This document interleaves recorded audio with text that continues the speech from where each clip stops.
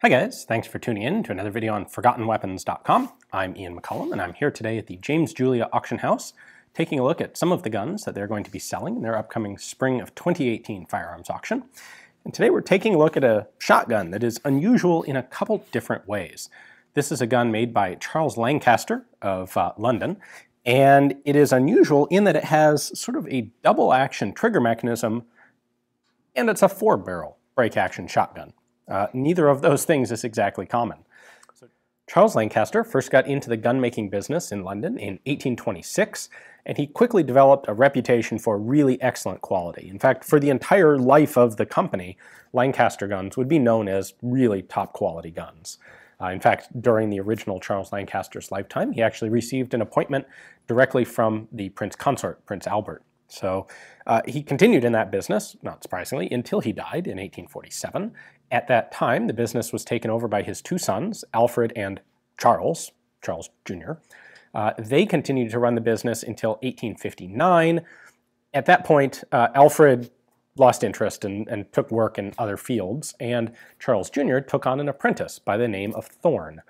And uh, Thorn, that was in, let's see, 1870. In 1878, Charles Jr. died and Thorn took over the business, but it retained the name Lancaster um, and would remain in business under that name until I believe the 1930s. Now, the original Charles Lancaster had been kind of one of the instrumental figures in developing breech loading shotguns. He uh, he was making breech loading pinfire shotguns and making some developments to that system to try and improve their gas sealing. Developed his own non-reloadable rimfire cartridge at one point. It didn't take off, but it was work that he was engaged in.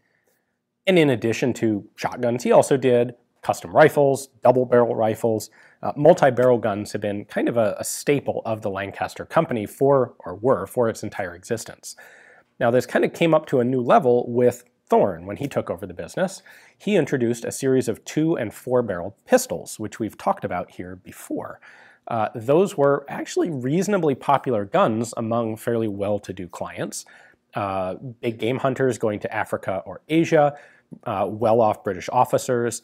This, the four-barrel pistols in particular offered an interesting alternative to a revolver. They didn't have the gas leakage issues that a revolver cylinder does, and hey, they carried four uh, large bore cartridges if you wanted it. These were made up to 50 caliber.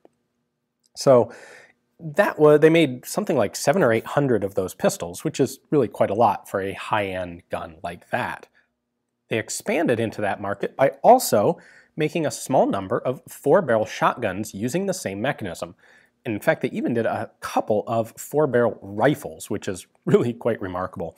Uh, this one is just just a shotgun. It's a 28 gauge shotgun, so relatively small bore, which is important when you've got four of the barrels out there. If this were something like a 12 gauge, it would be a remarkably heavy and poorly balanced gun. But as a 28 gauge, it actually handles pretty nicely.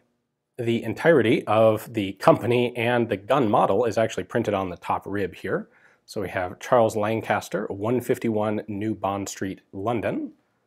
Patent, four barrel hammerless, sorry, four barrel breech loading and hammerless gun. And just to make sure you don't lose track of that, it's also printed on the gun's frame, Charles Lancaster Patent, London.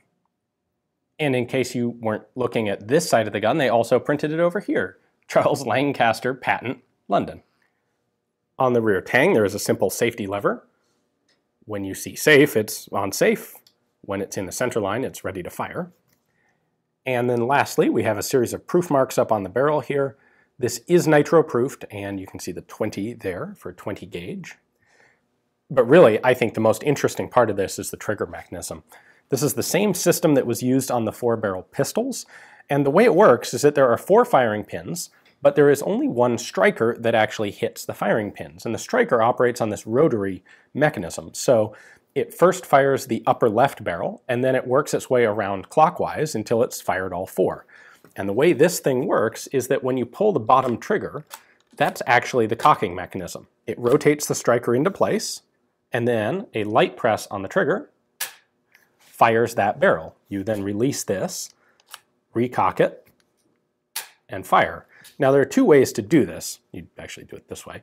Um, you can either use this kind of like a set trigger to cock the gun and then wait and then have a nice light trigger pull, or you can use it like you might a double action gun where you only use this front trigger, pull it all the way through, and it fires each barrel in succession. Uh, just like the pistols did, this is kind of a cool, cool mechanism to give you those two different options. Now we can open up the barrel using the Jones underlever system here, rotate that lever out, and then the gun breaks open.